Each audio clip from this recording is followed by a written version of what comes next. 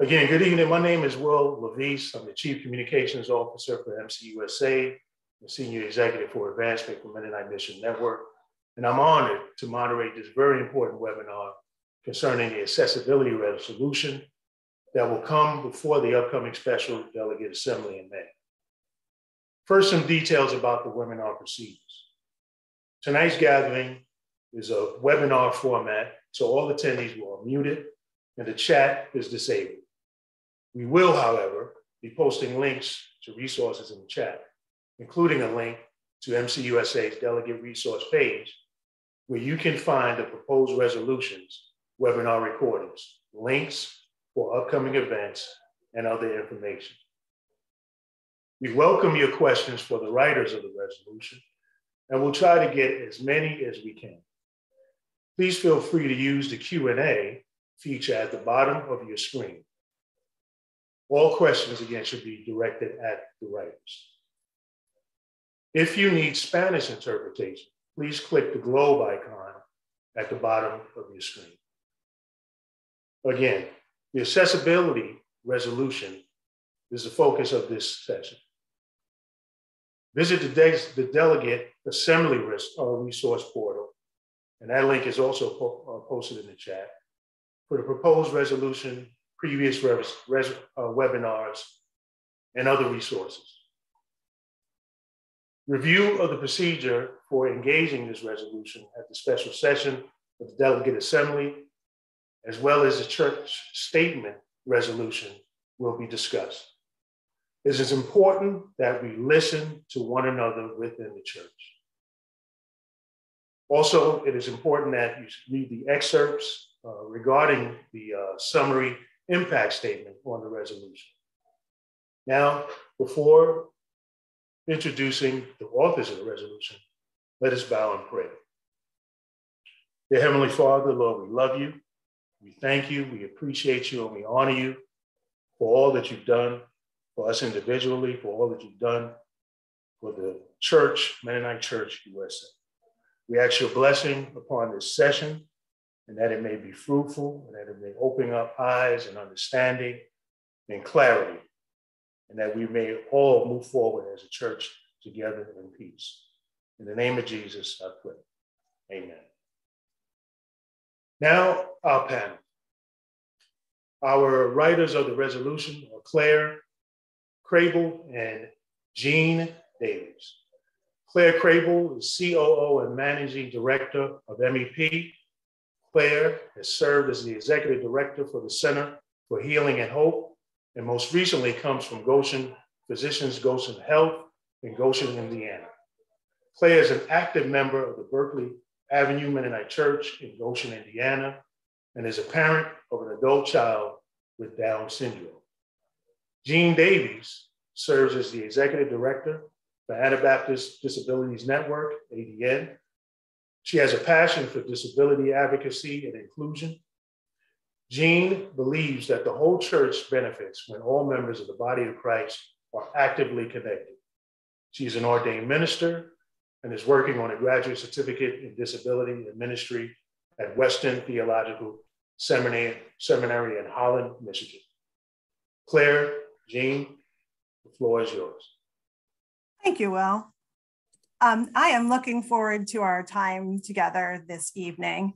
So I just want to thank everyone who is present um, for tuning in and for this opportunity to present about this accessibility resolution. Before I get started, I would like to recognize the many folks who have helped to birth the accessibility resolution and a bit of how we got here. Anabaptist Disability Network, or ADN, began work on this resolution in 2014, and it was put aside until 2019 when Eldon Stoltzfus, then executive director of ADN, picked it up again. Many people collaborated to author it, including Tim Burkholder, Christine Gupp, Richard Aguirre, Sheila Stouffer Yoder, Jeanne Davies, Eldon Stoltzfus, Catherine Dixon, Katie Smith, and myself. At the invitation of Anabaptist Disabilities Network, four congregations, namely Akron Mennonite Church, 8th Street Mennonite Church, Waterford Mennonite Church, and Berkey Avenue Mennonite Church worked in collaboration with MHS and ADN and endorsed this resolution to bring Mennonite Church to bring to Mennonite Church USA in 2021. So I come to you today wearing many hats beyond that of co-author. First, I am the Chief Operating Officer of MHS, which is an agency of MCUSA. ADN is a member of MHS, and MHS is sponsoring this resolution. For those of you who don't know much about MHS, we are a National Member Services Association of 77 health and human service organizations. And as an association, we seek to help our members connect their faith and our work. And our mission is to inspire and strengthen those health and human service ministries to fulfill the, their missions and for that reason, I am pleased and honored to be representing MHS as we support ADN in fulfilling their mission through this resolution. The next hat I am wearing is that of a member of Berkey Avenue Mennonite Church. I was an elder there when the church made the decision to formally endorse this resolution. I've spent my career supporting the health and the wholeness of the sick and disabled, first as a physical therapist and then for the past 15 years in leadership at health and human service nonprofits. And lastly, I'm a parent of an adult stepdaughter with Down syndrome. Our daughter Emily has been blessed by a loving and welcoming congregation. She has been provided with opportunities to use her gifts for the benefit of the body of Christ, and we are really thankful for that. Even as the church is very welcoming, barriers remain for her and for others with disabilities. While good intentions and good actions exist, there still remains a need for tools and services and knowledge to help support moving those intentions and actions further along. A lot of what has been known to be right and true comes from one set of voices. And our culture is saying we need more inclusion, more of a variety of different voices and experiences to help shape our faith communities. And because of limitations to accessibility in our churches, the voices of the disabled are frequently muted or even absent. The purpose of this resolution is to help all members of MCUSA, including congregations, area conferences, agencies, and constituency groups recognize and seek to remove the barriers to belonging in architecture, communications, and attitudes that prevent individuals with disabilities from participating in church life, and to bring wholeness to the body of Christ as those barriers are removed and all people are fully integrated into the community of faith. So, what is the problem we're trying to fix?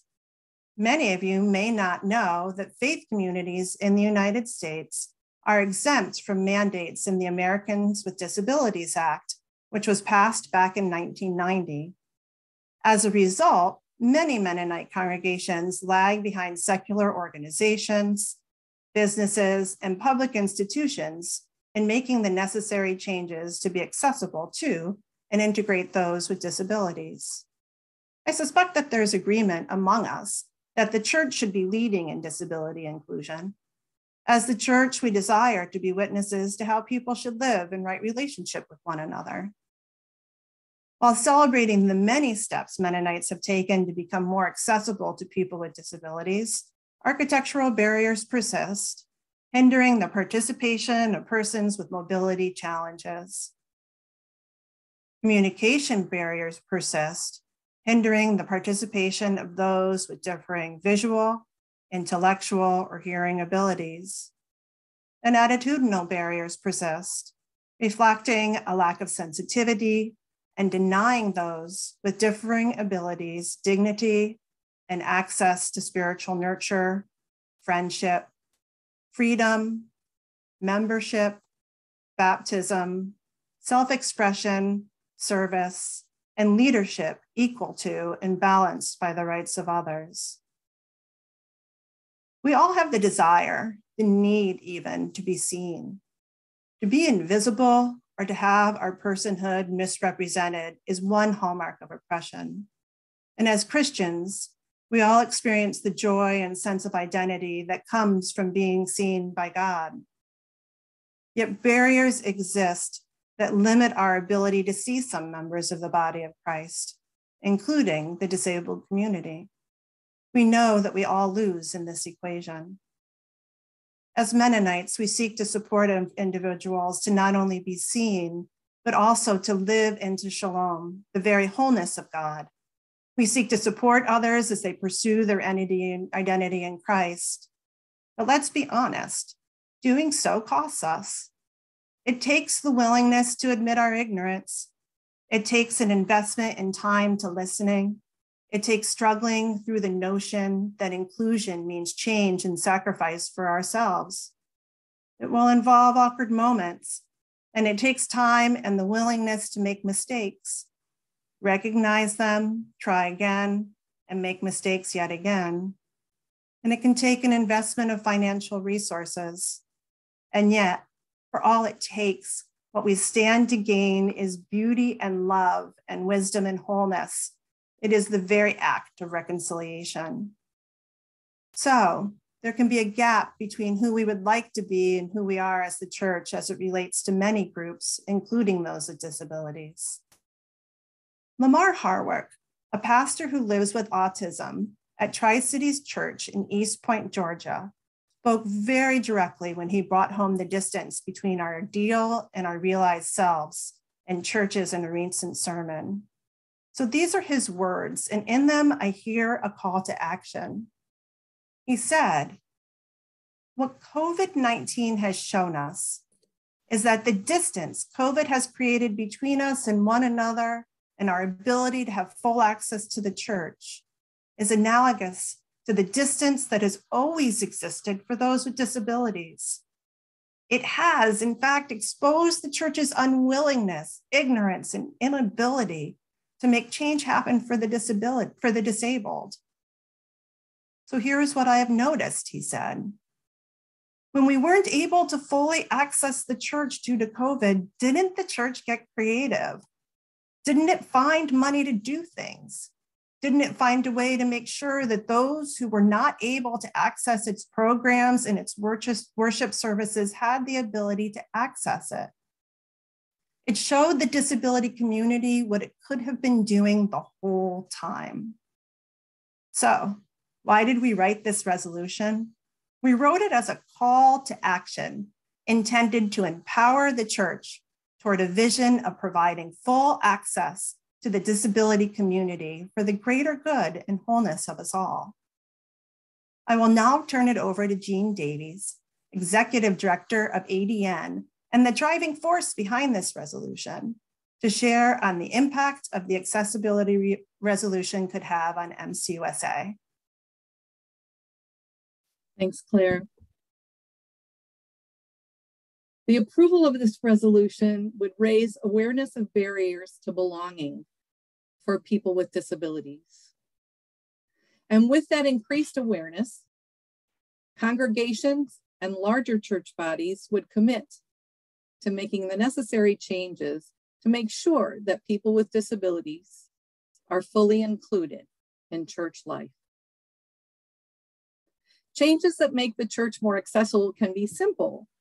They can be as simple as serving gluten free communion bread to allow people with celiac disease to participate. Or they can be as complex as making the effort and taking the time to discern and employ the gifts of people who are disabled, including gifts for leadership. Changes can be inexpensive, such as offering digital worship resources for people who are visually impaired. Or they can be expensive investments, such as installing an elevator or renovating restrooms. Whether they are simple or complex, inexpensive or expensive, changes are needed so that all are welcome and everybody belongs. We may not all be able to do everything, but we can all start somewhere. Anabaptist Disabilities Network would support congregations and larger church bodies to access, assess their own accessibility and make the necessary changes for greater inclusion. We would do this in collaboration with Mennonite Church USA agencies and related organizations that serve people with disabilities. Some of the ways that ADN would support the work of disability inclusion are by providing assessment tools, such as accessibility surveys, so that congregations can evaluate their own accessibility. Offering events and resources for all ages to raise awareness and change attitudes about disability sharing and developing resources, including curriculum for people with disabilities. Providing resources to congregations through congregational disability advocates and consulting with congregations about addressing specific barriers.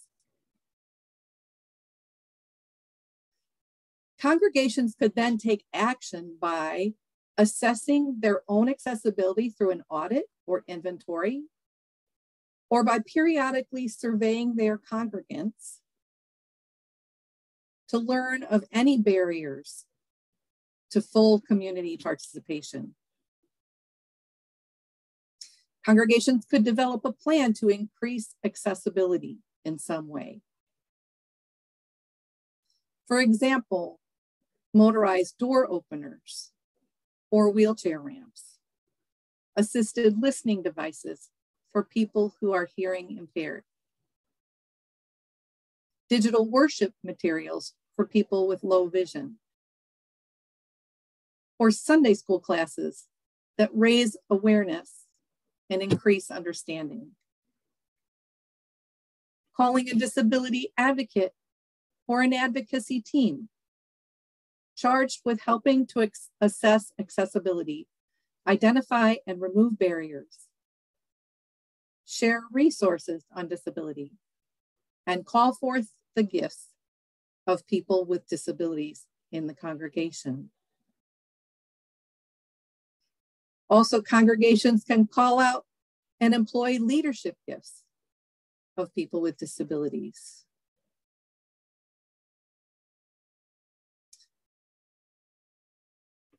The last question that was asked was How does the proposed resolution enable us to join in God's activities in the world? God has called us to a ministry of reconciliation. Unfortunately, many people who are disabled and their families have felt excluded. This resolution will call us to the work of reconciliation of healing the harm that has been done and restoring loving relationship. God calls us to be the body of Christ in the world. To do that, we need to include all Christians. And we need to employ all the gifts. God has a different value system. It's not all about efficiency, and expediency. Jesus saw the important gifts of people who were on the margins. We are called to notice and value everyone. We are called to listen carefully to everyone and be led by people who have experienced life differently. In this way, we will build up the body so that we might more fully reflect Christ in the world. Accessibility is not just for the benefit of disabled people. If we don't include everyone, then we are not whole. So, accessibility and disability inclusion is not only our responsibility, but our joy. We need to have all people present with gifts fully employed in order for the body of Christ to be complete. Then the church can be an example to the world of people living in right relationship, loving and honoring one another as children of God. We have some panelists who will be speaking about their experience with disability and the church, telling stories, and speaking about the importance of this resolution. So I'm going to turn it back over to Wil LaVeist, and he will introduce them. Thank you, Jeanne. And also thank you, Clare, for that very detailed and, and heartfelt uh, description of the uh, accessibility resolution. And with that, I will begin to introduce our other uh, panelists. First, being Bryce Miller. Bryce Miller has served as a pastor for more than 16 years with congregations in the US and Canada, enjoying creating opportunities for hospitality and service. He presently serves Mennonite Church in Ritzville, Washington, as a co pastor with his wife, Emily Towles, and their children, Luke and Anna. And I will turn it over to Bryce and we will introduce the other panelists as well. And then at the end, we will have a Q&A session. Take it away, Bryce. Good evening, everyone, and thank you for joining around this resolution and speaking with it and around it. It's a pleasure to be with you and uh, to speak across the country. We don't often talk about church leadership as a matter of risk, but it always involves risk. As much as it's a calling of the spirit, a preparation of the individual, a discernment of the community.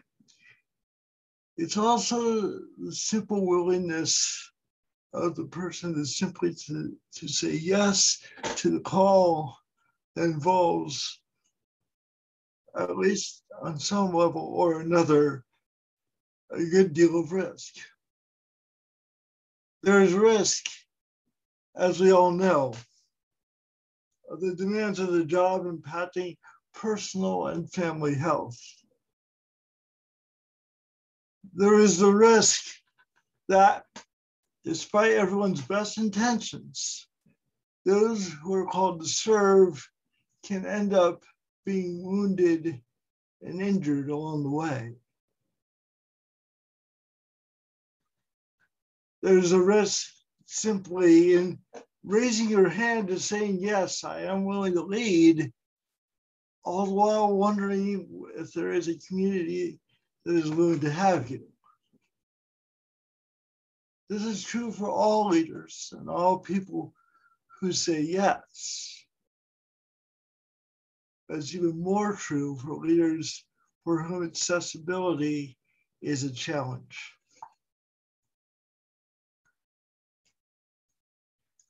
I'll really say that I did not set out to be a pastor. I spent most of my college summers serving as a counselor at a summer camp, building skills incidentally I now know to be pastoral. But I never really imagined them, imagined them to translate here or in this way. Even when my shoulder was indeed tapped, and the door was opened in such a way that I had almost no choice but to walk through. I spent most of my seminary career proclaiming that a Master of Divinity did not automatically mean that I was going to be a pastor. I had my experiences. I had my practical education along the way, and it planted the seed. But it took me almost a year of personal discernment following my education and my graduation to take the step to open myself to a pastoral call. For me, it was not so much that I thought that the mechanisms of church were automatically or definitively shut to me. It was more the simple fact. I remain convinced that were I to take the risk to step forward and to be sent, that more likely, more than likely, I'd be met by a polite but profound silence. As someone for whom speech does not always flow easily or clearly, a basic requirement of pastoral work, I was not sure if it could work out on a practical level or how people might feel about receiving the body of Christ from a shaking hand.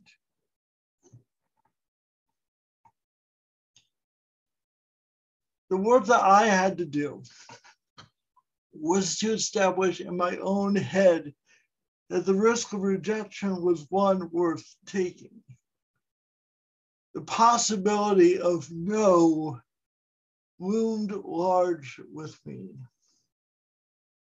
especially when the first conversation that I had with the congregation ended up in my declining their offer because the particulars of the fit did not work out very well. Like Menno Simons, who on discerning the call to leadership was known to pray, let the call burn within me so I can do no other. I was left with a conviction that would not leave me alone even though it was one that I myself doubted more often than not. In the end, it's a risk that I'm glad that I took, and one that I will never regret. But it's also a, a sense of doubt that I sometimes still carry.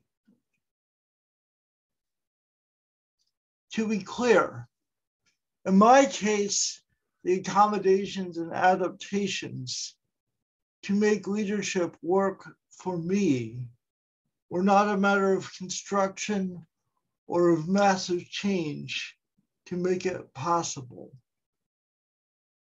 And perhaps it would have looked differently if it had been that level of need. Rather, it was a matter of signaling that the call that I had heard within me was one that the broader church was willing to entertain and willing to welcome. This is something that are saying together that we want to welcome all people in all levels and all abilities to our life together does an important and effective way. That's why this is important. It's not to say that we as MCUSA will suddenly or automatically become perfect in our expressions of access. Rather, it is to say together that this is where we wish to go even if we may not entirely know how to get there. I count myself fortunate that I did find a place and a way to serve, and now struggle to know myself doing anything but this. I know of others who have not had the same experience as I have persons of gifting and of talent that I grieve have not been able to realize their call that they hold in their lives. Opening the doors allows us to broaden our expressions of what does a pastoral leader look like, sound like, act like, feel like, and ultimately to expand our ways of modeling to ourselves what does Jesus look like and sound like and move like and feel like all at the same time. This is all of our work. As one that benefits us each one as we follow the wounded and risen Savior. I'm grateful that we are considering this resolution together and that we can hear stories together, even in the very opening and initial seeds of it. May we each take the risk of saying yes to the calls that we have in our own lives, even when that risk puts us at challenge.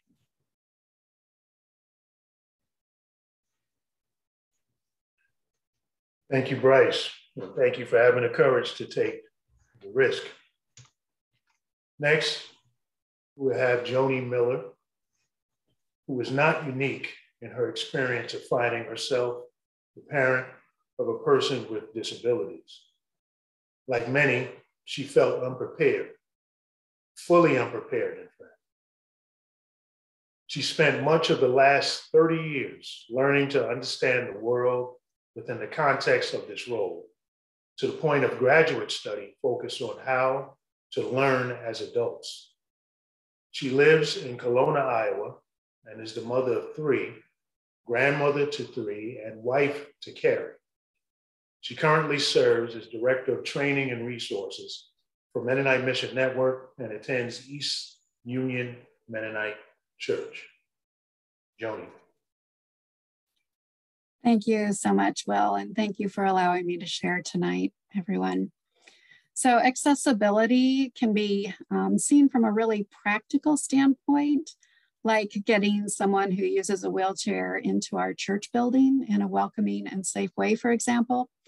But my sharing tonight is from a slightly different standpoint. It's one that's a bit more focused on the underlying need that drives us towards this type of action.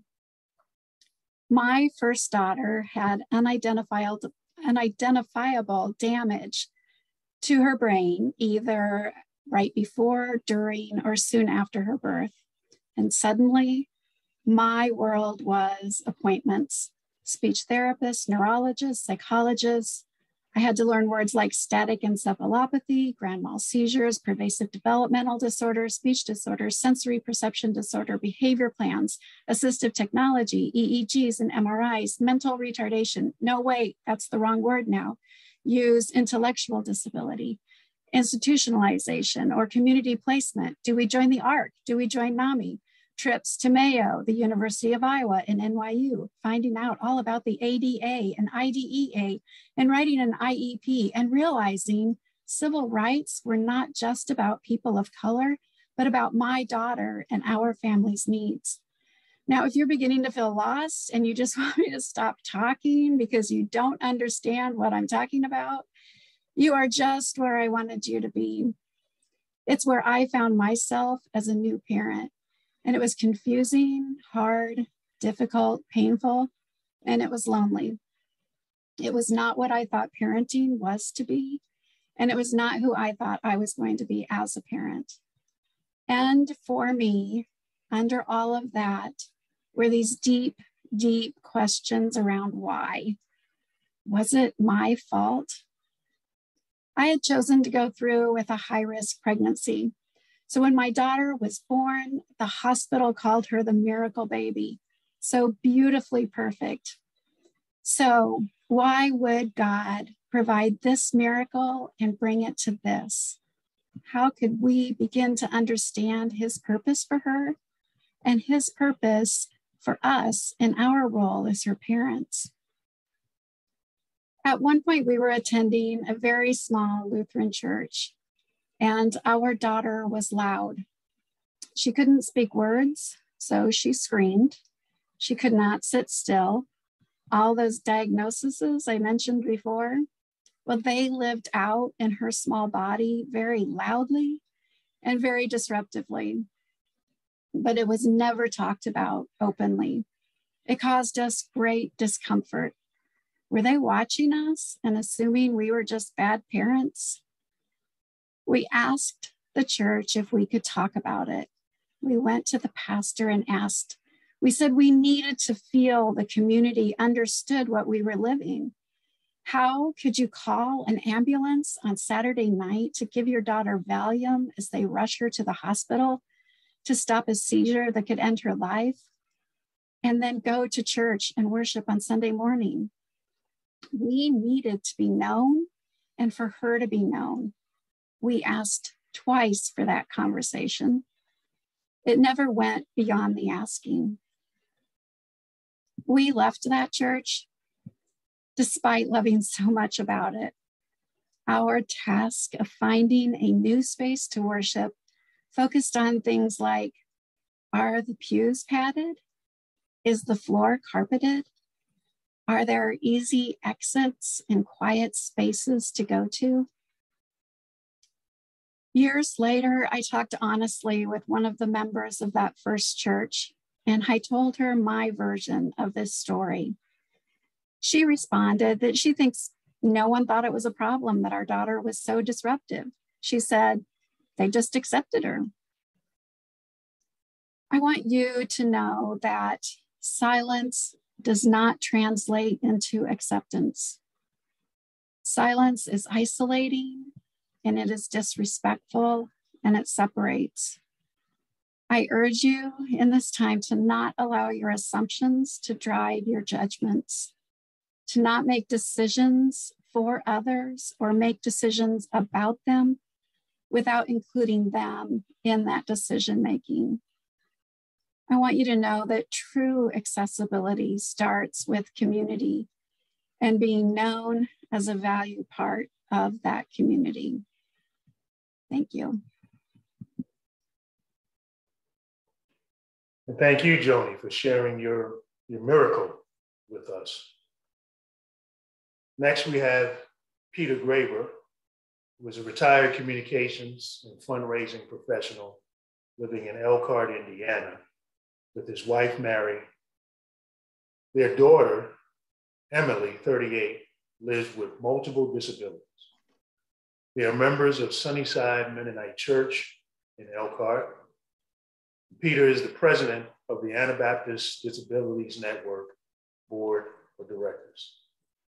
Peter Graber. Good evening. Uh, I'm glad that I was invited to do this, a chance to tell our story. Also reconnect with some people that uh, I used to work with at Mennonite Mission Network. Our family has been on uh, this journey of ours for about 38 years now. Our oldest daughter, Emily, was born in Indianapolis with microcephaly, cerebral palsy, a seizure disorder, and some GI conditions.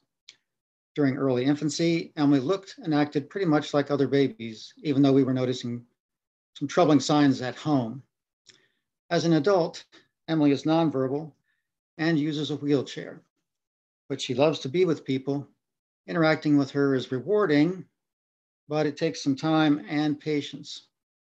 By the time we moved to Bellefontaine, Ohio, and began attending Bethel Mennonite Church in West Liberty, Emily was one and a half years old, and her delays were more obvious.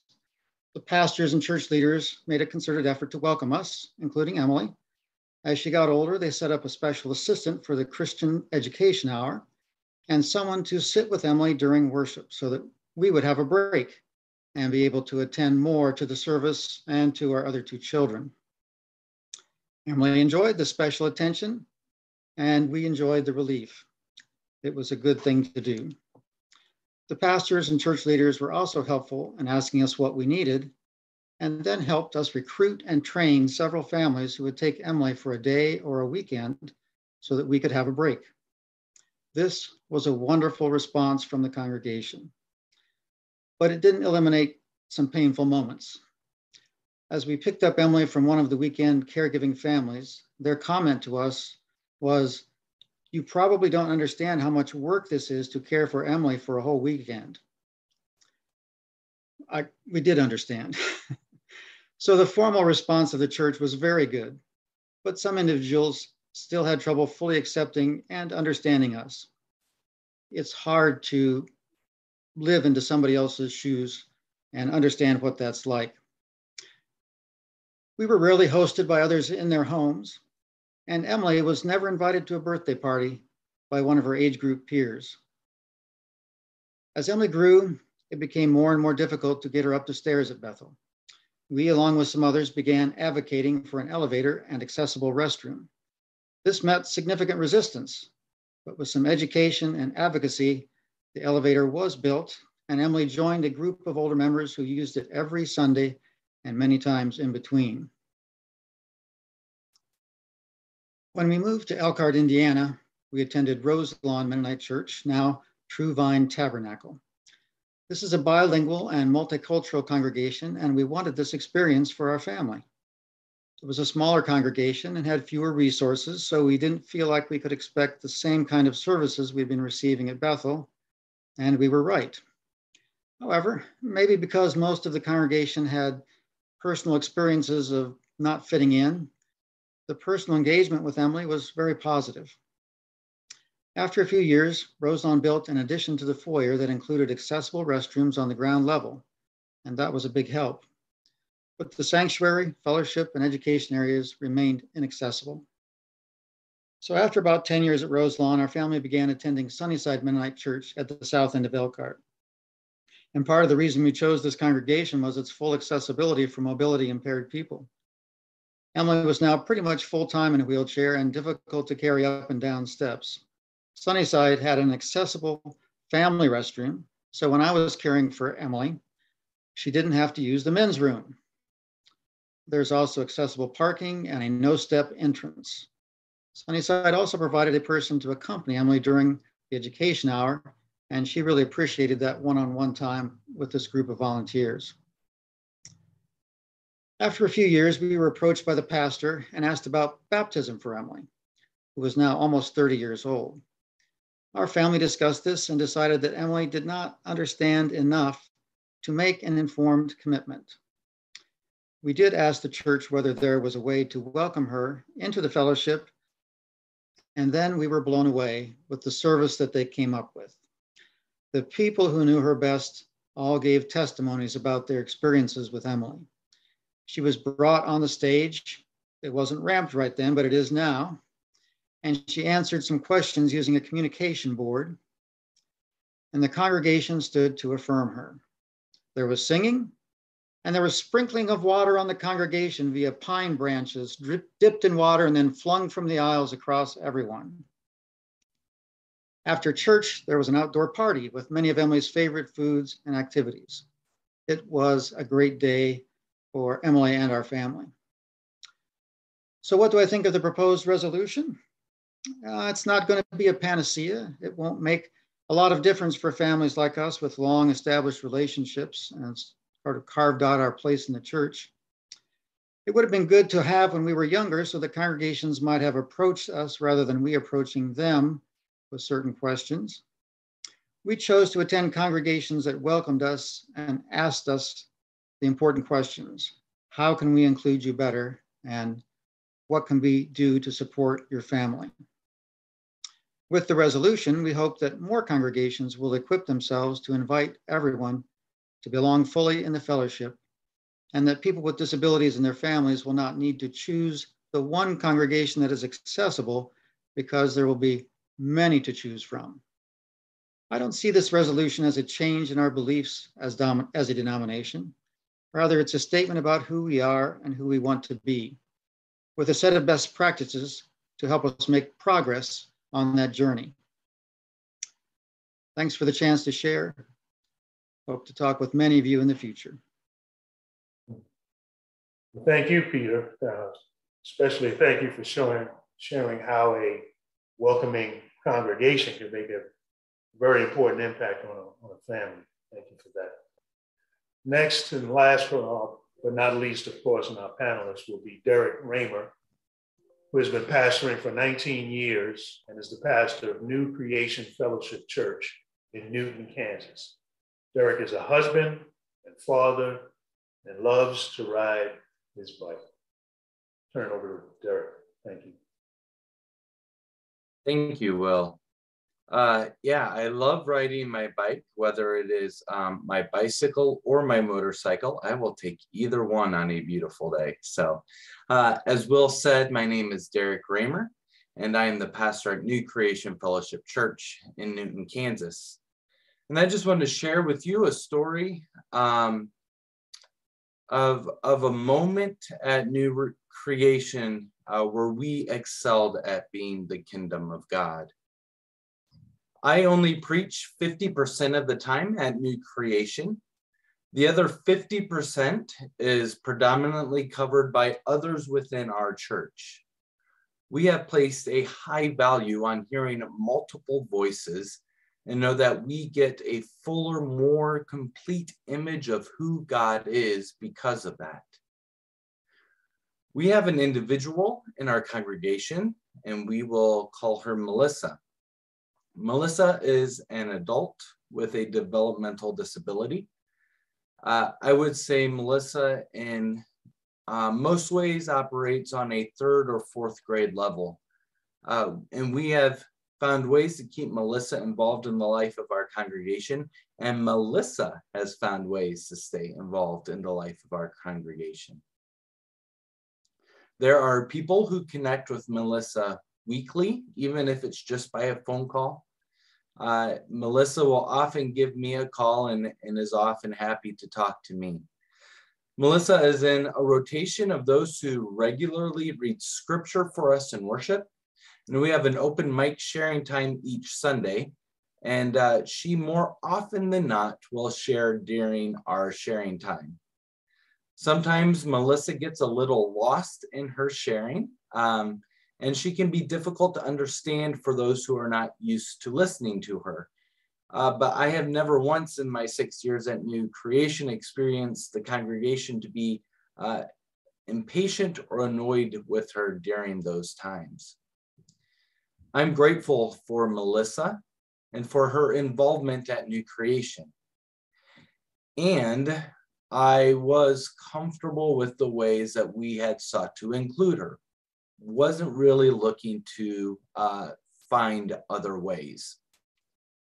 At a worship serving unit meeting, as we were discussing uh, shoulders to tap for the sermon time, somebody in our group suggested asking Melissa. I was hesitant. Uh, the question that I asked um, was if we were going to ask Melissa, how could we do it in such a way that um, she could be successful uh, in, in taking the sermon time? And it was suggested that maybe we could use a sermon time to interview her. So I approached Melissa, and she was very excited to do the preaching time and immediately said yes. So I met with Melissa individually to run through uh, some questions with her and figure out how we wanted this morning to go. And when it came time for the Sunday morning, we sat on the stage together in chairs and I interviewed Melissa.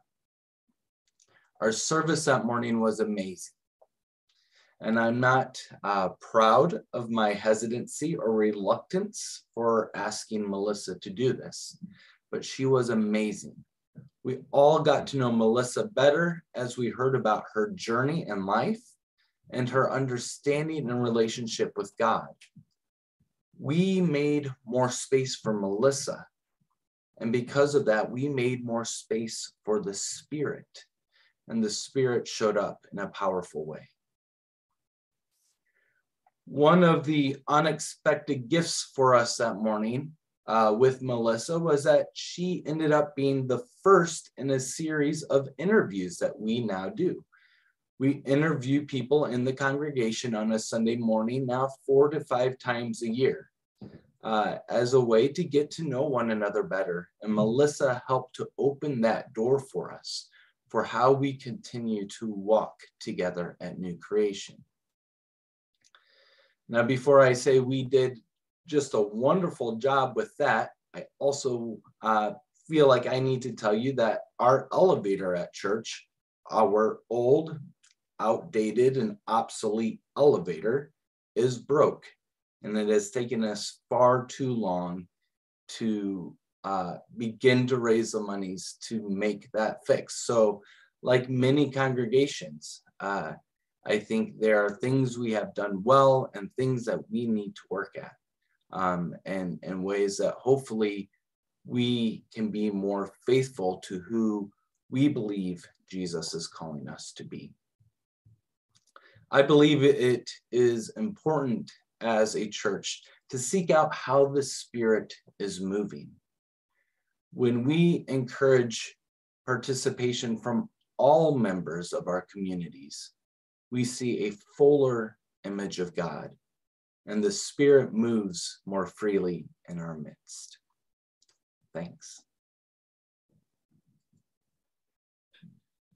Wow, thank you, uh, Derek.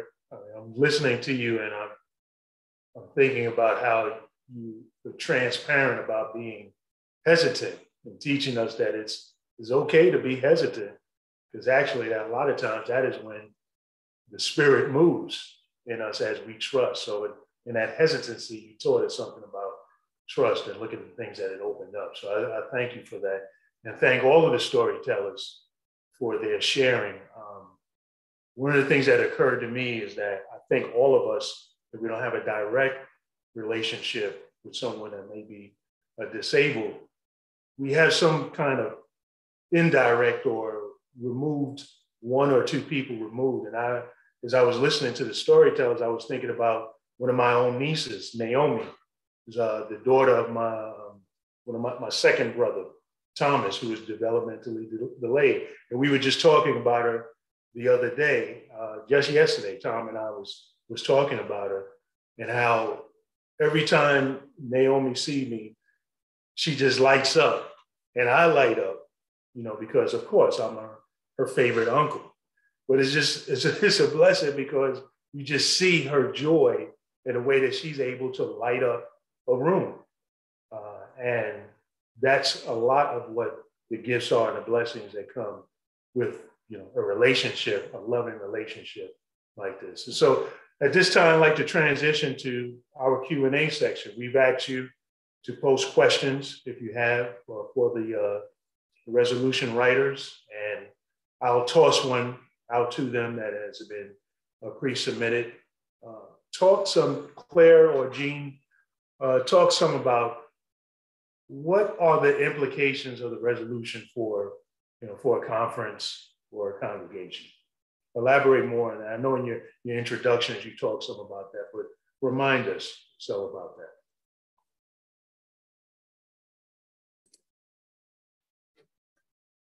Um, so you're asking for uh, how that would impact congregations uh, and conferences. Is that correct? Is that the question?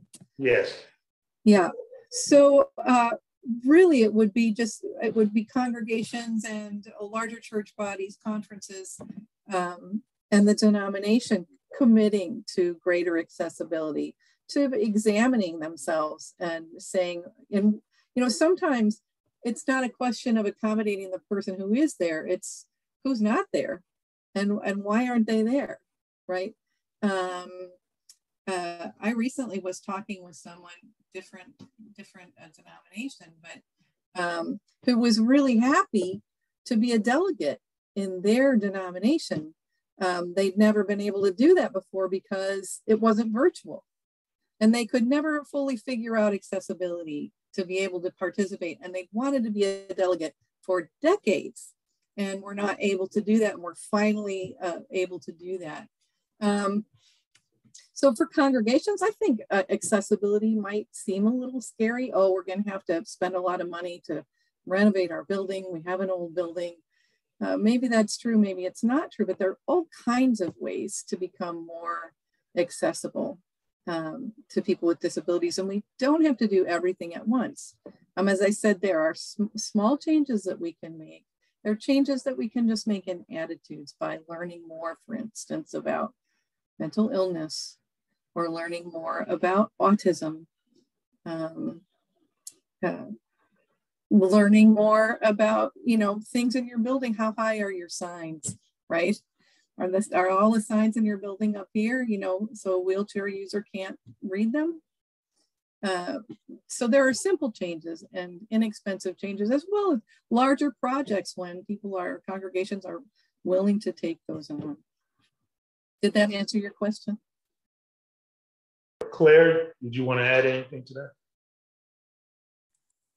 Um, I think Jeanne did a wonderful job. I think the only thing that I would add to that, um, and many of our storytellers brought this up as well, is to simply ask. Ask the people who are in your church what do they need to more fully engage, um, and and hear what they have to say, and um, also just to reiterate the point that Jeanne made of who is not there. Um, I know um, when I was younger, um, I was in a church in a different town, and they had a program there that provided one on one attention to anybody with a disability, youth with a disability. And we had a huge number of kids come to that church with disabilities and provided a really exciting ministry to them. Um, so it was very much of a we built it and they came um, situation. And it was a wonderful learning um, and a wonderful experience for everybody who participated. Clare, for you, as you were going through the process of drafting the uh, content for the resolution, what was, you know, informative, enlightening, you know, for you as you as you all were drafting? Yeah, so first I should say that when I came into the process in 2019, we were working with a draft that was already already there. Um, so, um, I, you know, I was already aware, having having started my career as a physical therapist, that people with disabilities um, um, were not the, the ADA, um, the Americans with Disabilities Act, was not something that churches needed to do, and and so that that that was a pretty big need um, to be able to get this this information out to people. Um, you know, beyond that, I, I, think it was really trying to come up with the wording um, that brought it beyond just accessibility towards a vision for vibrancy and wholeness. How about you, Jeanne? What was sort of enlightening and for you as you were drafting?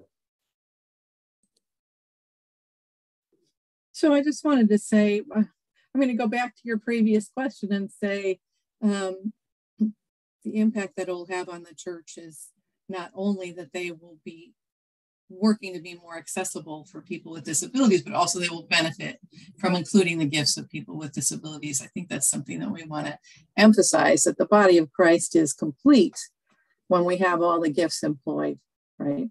And that Jesus, the, the gifts that Jesus values, right, we need to really carefully discern those, right? We need to be listening and taking the time because um, you know they can come in a variety of ways through a variety of different kinds of people.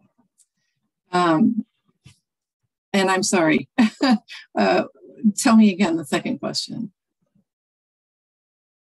Oh, you're muted. What was informative for you as you were drafting? I mean, you, you have a personal experience as you shared but as you began to draft it, what were some things that were lightning? Maybe a aha, aha moment for you? Yeah, well, I've been uh, studying disability and ministry for quite a while. I'm going to complete a graduate certificate in disability and ministry. So it was, I just enjoyed putting it together with all of the people. It really was a team effort um, to do that. Um, Eldon Stoltz was, uh, picked that up. He's the um, former director of Anabaptist Disabilities Network, and then I, I carried on that work. So again, I came, as Clare did, later on in the process um, of kind of refining, refining that statement. What opportunities or challenges do you anticipate for les- uh, resolutions implementation if it, uh, if it passes? Jeanne? Um, yeah, tremendous opportunity. I mean, I um, uh, that is my life is disability, uh, working with people with disabilities and disability inclusion. And um, I used to pastor a church that was for uh, people who were intellectually disabled and their families, people for whom uh, a typical worship service uh, doesn't doesn't really work for their families. And uh, what a huge blessing that was. So um, I think that the more people that we include, uh, the more blessings abound. So um, the challenges, challenges for um, the resolution or challenges to accepting the resolution? Challenges if it passes. What, what oh, challenges if it passes. Well, we have to take a good hard look at ourselves, right? Um, and that's not always easy um, uh, to have some humility and try to figure out um, what we could do better, right? It requires repentance, requires some uh, some transformation. It's it can be difficult work. It can be painful work, actually, um, but that doesn't mean we shouldn't take it up. And you, Clare, uh, opportunities and challenges if it passes your thoughts. Yeah, for me, the a really big opportunity that I am hoping that people will engage in is doing the accessibility assessment. Um, you know, all that costs is your time of sitting down and looking and seeking out what opportunities um, you can identify within your own congregation of, um, of ways to create more accessibility. I, I don't think any of us get up in the morning and say, gee, I want to create barriers to the disabled, right? Um, but we don't, we don't, we, we don't know how to take those down. Um, and what I'm excited about with this resolution is it gives tools um, to be able to um, start moving forward and change. Um, and that to cast a vision for yourself as a church, as an organization, and as individuals um, to seek to provide more holistic relationship with all people um, is exciting and life-giving work. Um, and you know we can move into that and make mistakes as we go along, um, but it's still exciting and life-giving work. Uh, I think that the challenges are what Jeanne said. It's um, it's the challenge when we work with anybody who is different than us it's to and it's to be willing to enter into a little bit of discomfort um, of the unknown and to admit that we don't know um, and to come into relationship with grace um, but also some hope. Excellent. Well there are no additional uh, questions in the chat. And so with that i'll thank all of the panelists for your participation and your sharing I want to remind all the attendees to register for our next webinar, which will be expectations for the special session of the Delegate Assembly. It'll be on April 5th, 7 p.m. Eastern Time, 4 p.m. Pacific Time. Also encourage you all to go to uh, MCUSA website and sign up for Peacemail. The link will be there in the chat. That's our weekly news, e-newsletter that informs you of all of the things that are happening most recently in the denomination. And you can also, of course, go to the website as we shared earlier, get information about the upcoming uh, delegate assembly. And again, I, thank you all for your participation, for your ear, for your attentiveness. And um, my technical crew tells me that we do have the song I Am Here, written by Ann Hamlin.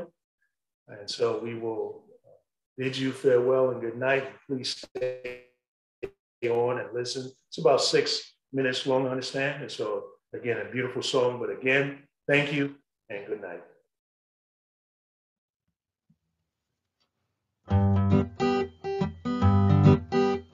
I see the people walk by me as my one on one checks on me. Talk, laugh, and yell. Some ignore everyone else too. I wonder